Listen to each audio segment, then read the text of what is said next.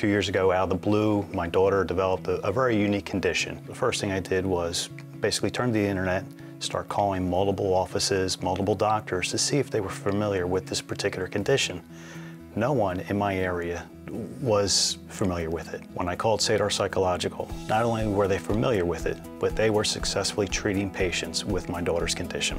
From the moment we walked in the door, the initial staff member that we met, to Angelica and any other staff member has been tremendous. I'll never forget, Angelica sat down with my daughter and looked her in the eye and said, you are not going to be ruled by this condition. You are going to beat this condition. It's going to be a minor part of your life.